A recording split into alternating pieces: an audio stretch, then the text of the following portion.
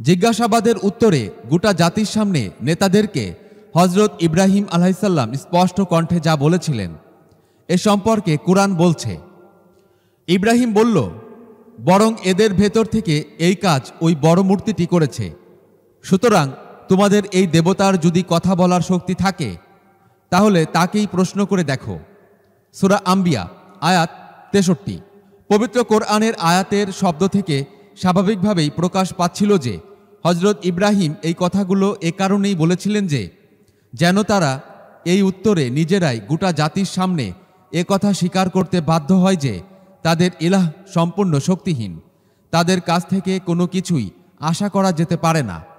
এ ধরনের ক্ষেত্রে যুক্তির খাতিরে যদি কোনো মানুষ প্রকৃত ঘটনা খেলাফ কোনো কথা বলেন, তবে সে কথাকে মিথ্যা বলা যেতে পারে না। কারণ সে ব্যক্তি মিথ্যা বলার মন মানসিকতা নিয়ে, মিথ্যা বলার ইচ্ছা বা সংকল্প নিয়ে এ ধরনের কথা বলেননি। বরং যাকে বা যাদেরকে সম্বোধন করে এই কথা বলা হয়, সেও এ কথাকে মিথ্যা বলে মনে করে না। যিনি বলেন, তিনি নিজের বক্তব্যের যৌক্তিকতা প্রমাণ করতেই বলেন এবং যিনি শোনেন, তিনিও তা সেই অর্থেই গ্রহণ করেন। সুতরাং হজরত ইব্রাহিম আলাহিসাল্লাম কোনো মিথ্যা কথা বলেননি। নবীর বিরুদ্ধে মিথ্যা বলার তৃতীয় অভিযোগ। তৃতীয় যে কথাটিকে মিথ্যা বলা হয় তা হল তার স্ত্রী হজরত সারার ব্যাপারে। ঘটনাটি হল, শাসনকর্তা তাকে তার সাথের নারী সম্পর্কে প্রশ্ন করলেন যে, তোমার সাথের এই নারীর পরিচয় কি? হজরত ইব্রাহিম আলাহিসাল্লাম জবাব দিলেন, এই নারী আমার বোন। তারপর তিনি তার স্ত্রীর কাছে এলেন এবং বললেন, হে সারা আমি এবং তুমি ব্যতীত এই জমিনের উপরে আর কোনো মুমিন নেই। এই লোকটি আমাকে তোমার সম্পর্কে প্রশ্ন করেছিল। আমি তাকে জানিয়েছি যে, তুমি আমার বোন। সুতরাং আমাকে মিথ্যা প্রতিপন্ন করো না। এখানেও হজরত ইব্রাহিম আলাহিসাল্লাম কোনো মিথ্যা কথা বলেননি। হজরত সারা সম্পর্কে ঐতিহাসিক ও ইসলামী চিন্তাবিদ যেমন ইবনে কাসির বর্ণনা করেছেন, তিনি ছিলেন হজরত ইব্রাহিম আলাহিসাল্লামের চাচা হারানের মেয়ে। সুতরাং তিনি ছিলেন আল্লাহর নবীর চাচাতো বোন। এরপরেও তারা দুজনই ছিলেন মুমিন। একদিক থেকে তারা ছিলেন একই আদর্শ তথা ইসলামী আদর্শের অনুসারী। আদর্শিক দিক দিয়ে তারা অবশ্যই ভাই বোন সম্পর্কিত ছিলেন। ইসলামে বিয়ে হলেই ইসলামী ভ্রাতৃত্বের সম্পর্ক বিনিষ্ট হয় না। অতএব হজরত ইব্রাহিম আলাহিসাল্লাম তার জীবনে কখনো মিথ্যা কথা বলেননি। হাদিসটির মোকাবেলায় পবিত্র কোরআন। বোখারির বর্ণনা হল হজরত ইব্রাহিম আলাইসাল্লাম তার জীবনে তিনটি মিথ্যা ব্যতীত আর কখনো মিথ্যা বলেননি। প্রথম দুটি কথা সম্পর্কে তো পবিত্র কোরআনেই আমাদেরকে জানিয়েছে।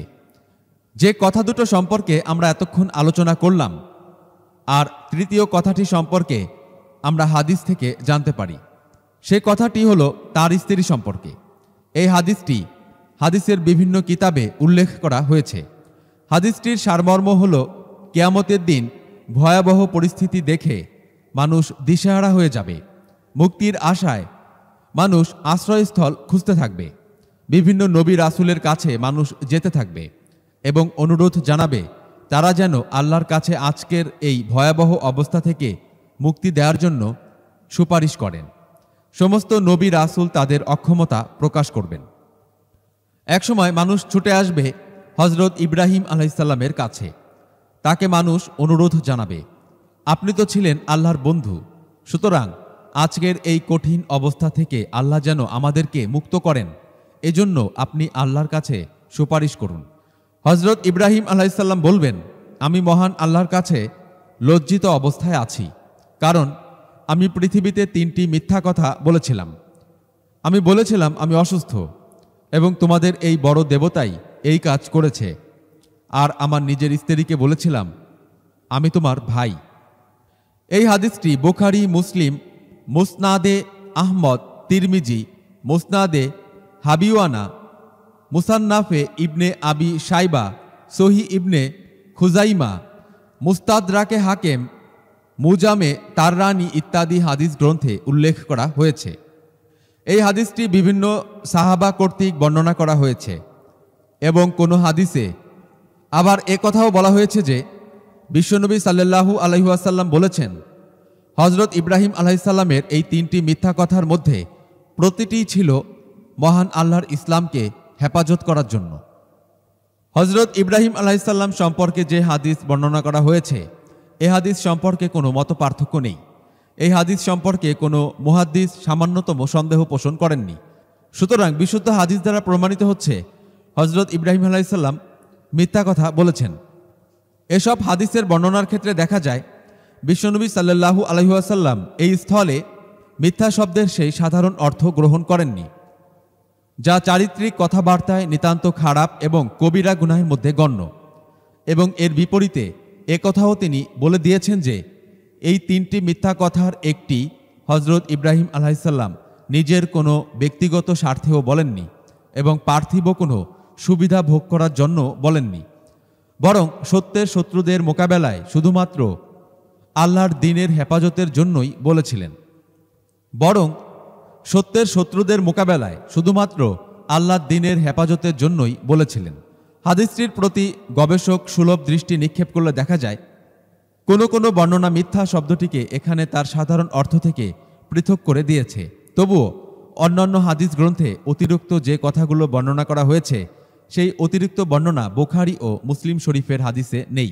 যদিও, অন্যান্য কিতাবের সহি রেওয়ায়েত উপস্থিত রয়েছে। এখানে প্রশ্ন ওঠে যে, সত্য কথা বলা নবী ও রাসুলদের জন্য একটি আবশ্যকীয় গুণ এবং তা আমাদের সম্মান ও মর্যাদার সাথে জড়িত। এরপর হজরত ইব্রাহিম আলাইসাল্লাম সম্পর্কে পবিত্র কোরআন ঘোষণা করেছে। এই কিতাবে, অর্থাৎ কোরআনে, ইব্রাহিমের কথা আলোচনা করুন। সে নিঃসন্দেহে একজন সিদ্দিক ও নবী ছিলেন। সুরা মরিয়ম, আয়াত একচল্লিশ। এরপর হজরত ইব্রাহিম আলাইসাল্লাম সম্পর্কে পবিত্র কোরআন ঘোষণা করছে।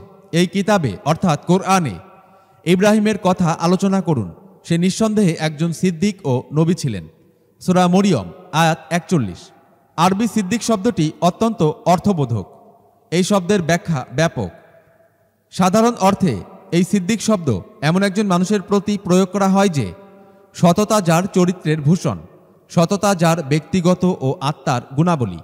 মহান আল্লাহ তাকে সিদ্দিক বলেছেন এবং নানাভাবে তার প্রশংসা করেছেন। কোরআন বলছে, প্রকৃতপক্ষে ইব্রাহিম নিজেই ছিল একটি পরিপূর্ণ উম্মত।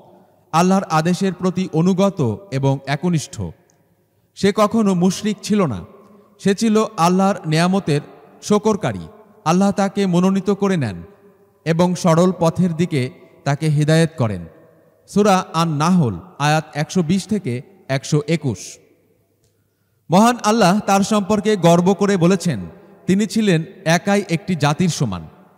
যখন গোটা পৃথিবীতে কোনো মুসলমান ছিল না তখন একদিকে তিনি একাই ছিলেন ইসলামের পতাকাবাহী এবং অন্যদিকে গোটা পৃথিবীর মানুষ ছিল কুফুরির পতাকাবাহী।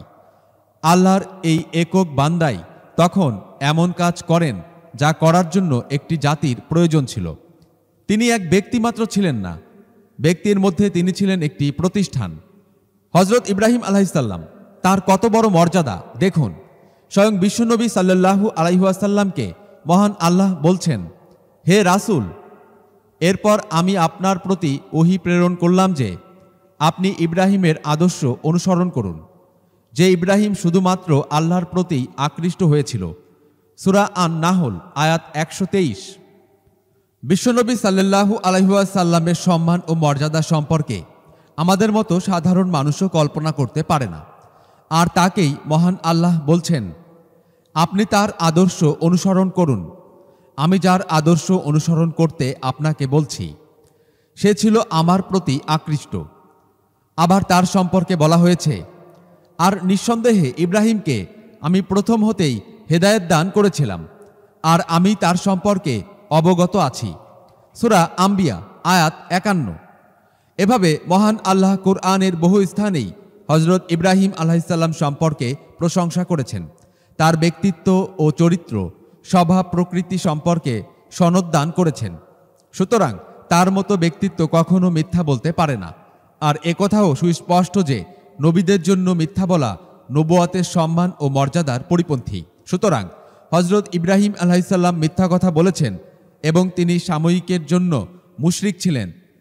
এ সমস্ত কথা যারা বলে, তাদের কেউ বলে অজ্ঞতাবশত, আর কেউ বলে উদ্দেশ্য প্রণোদিতভাবে এখন বাকি রইল হাদিস সম্পর্কে আলোচনা।